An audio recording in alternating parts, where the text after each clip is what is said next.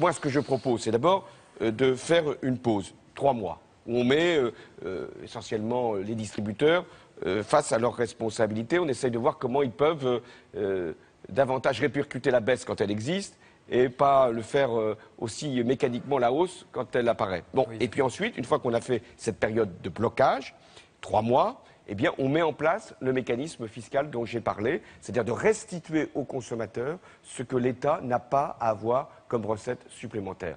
Les deux systèmes ont déjà existé, parce que j'entendais le candidat sortant dire on n'a jamais bloqué le prix oui, l'essence. Il dit que ça n'a aucun sens de bloquer les prix, car la France importe Donc, son pétrole. on l'a déjà fait, ça s'est fait euh, notamment lors euh, de la première guerre du Golfe. C'était Pierre Bérégovoy qui avait euh, institué le blocage pendant quelques semaines.